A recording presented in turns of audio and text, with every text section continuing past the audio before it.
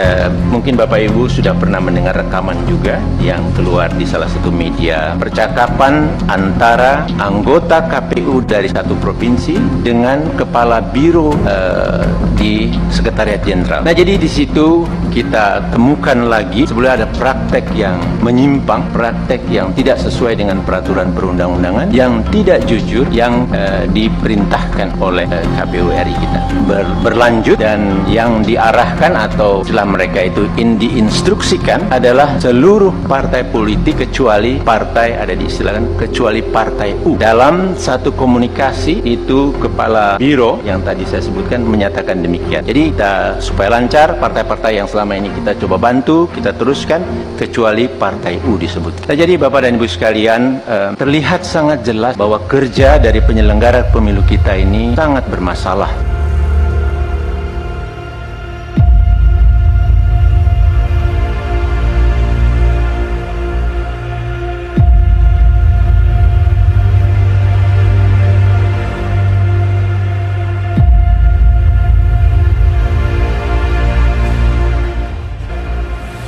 Menko Perekonomian Erlangga Hartarto memastikan tarif pajak pertambahan nilai atau PPN naik menjadi 12 persen di tahun depan. Uh, kita lihat masyarakat Indonesia sudah menjatuhkan pilihan bahwa pilihannya adalah keberlanjutan. Tentu kalau keberlanjutan uh, berbagai program yang dicanangkan pemerintah akan dilanjutkan, termasuk dalam kebijakan PPN. Ya, Erlangga menyatakan mayoritas masyarakat telah menjatuhkan pilihannya kepada keberlanjutan. Sebagaimana diketahui, tarif PPN saat ini sebesar 11 persen sejak 2022.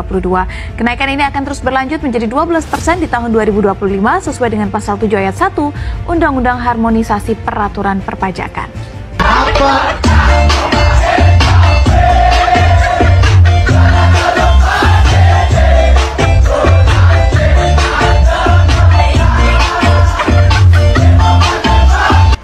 Hai kawan-kawan barisan akal sehat, kembali lagi di channel Kuliah Akal Sehat.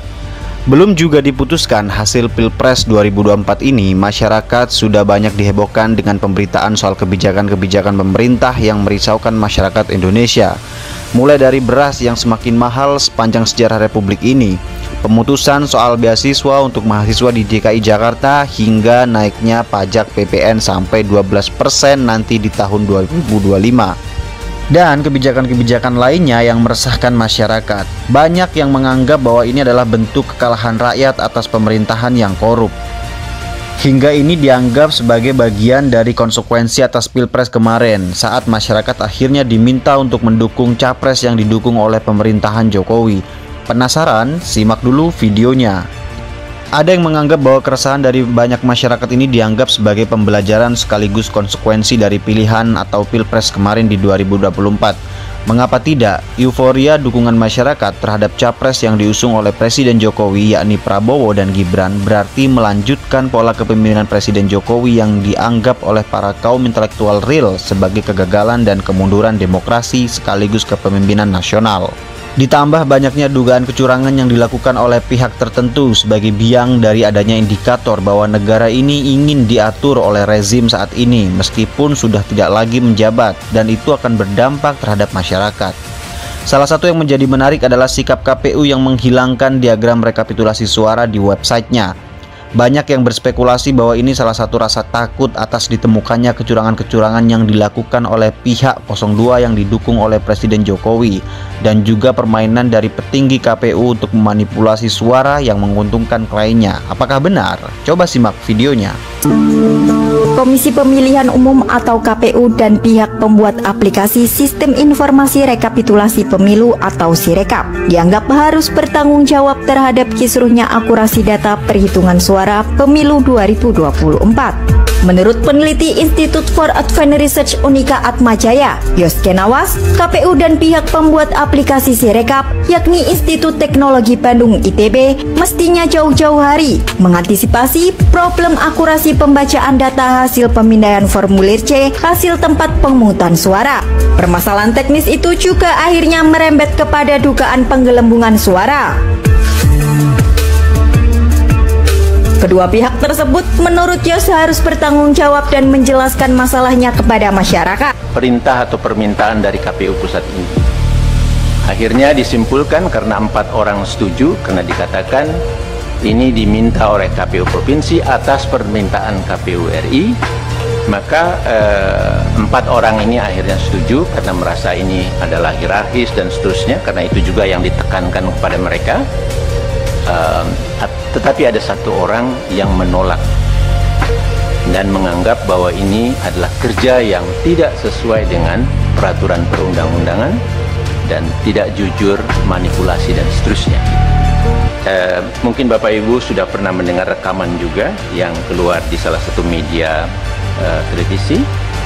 Uh, percakapan antara anggota KPU dari satu provinsi dengan kepala biro uh, di Sekretariat Jenderal. Yang antara lain isinya mengatakan udah masukin saja datanya nanti di MS kan. Nah, nanti uploadnya kita tunggu perintah selanjutnya. Tunggu saja malam ini kita harus naikkan sebelum ya kita submit istilah dalam sistemnya itu uh, sebelum jam 23.59 kira-kira begitu ya. Nah jadi di situ kita temukan lagi sebenarnya ada praktek yang menyimpang, praktek yang tidak sesuai dengan peraturan perundang-undangan, yang tidak jujur, yang uh, diperintahkan oleh eh, KPU RI kita. Nah kemudian berjalan pada proses verifikasi perbaikan.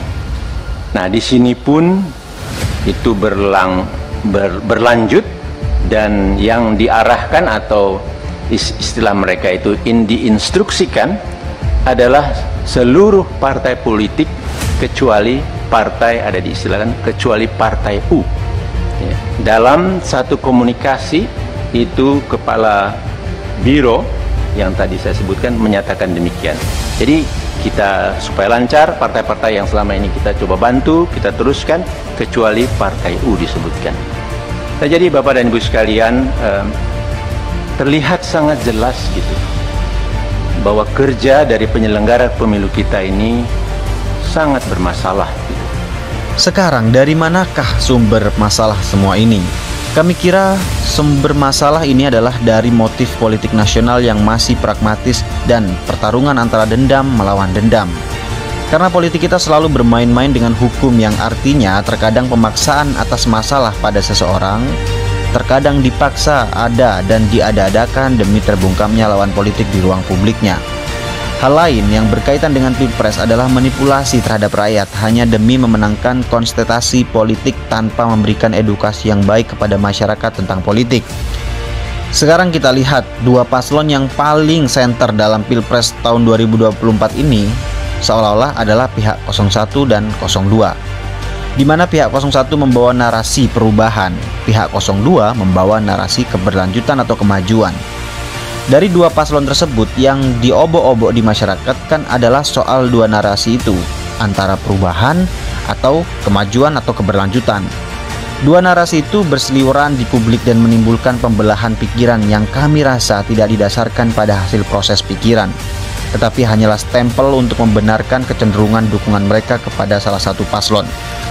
Bagi kami, antara perubahan dan kemajuan adalah hal yang tidak perlu diperdebatkan, karena ini kan hanya soal definisi. Misal, jika nilai ujian mahasiswa semester 1 dapat B dan semester 2 dapat A, itu disebut kemajuan apa perubahan? Ya kemajuan jelas, tapi menyebut itu sebagai perubahan salah apa tidak?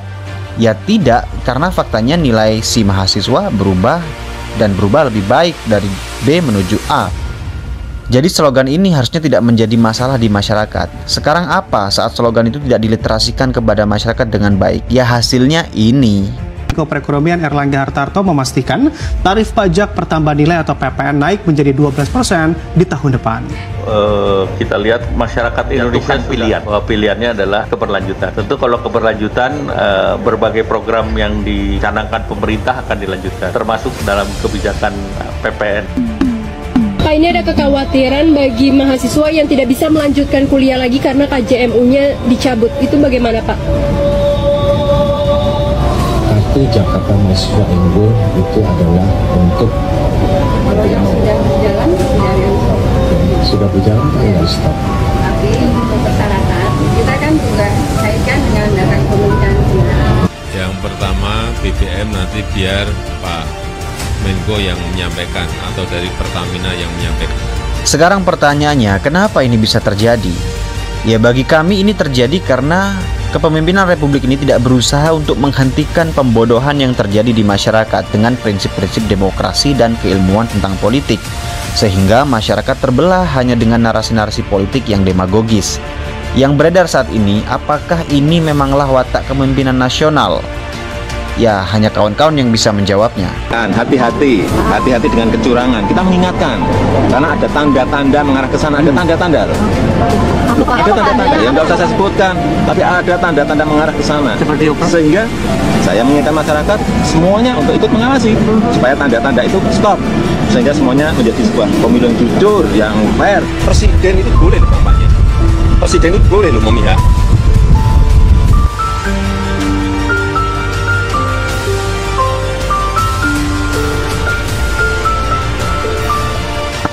Nah, bagaimana kawan-kawan? Masa demokrasi kita harus begini-begini terus?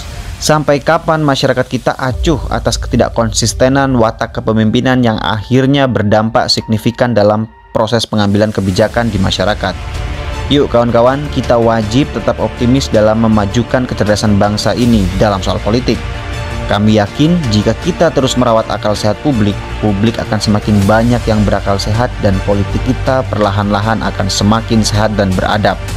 Oke, jadi itu saja kawan-kawan untuk video kali ini. Dukung terus channel Kuliah Akal Sehat dengan cara like, share, dan subscribe. Terima kasih sekali lagi dan salam akal sehat untuk para barisan akal sehat.